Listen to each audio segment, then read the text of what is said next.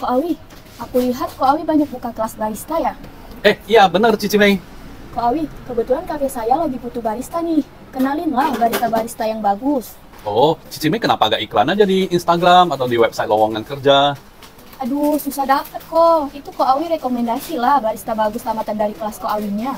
Oh, ya gak bisa lah. Itu kan dikirim kafe, eh, baristanya untuk belajar di tempat kami. Gak enak lah nanti sama bos kafenya itu. Loh, ya kan nggak apa-apa. Oh ya gak bisa lah Cici Mei, itu kan bosnya udah bayar mahal-mahal ke tempat kita.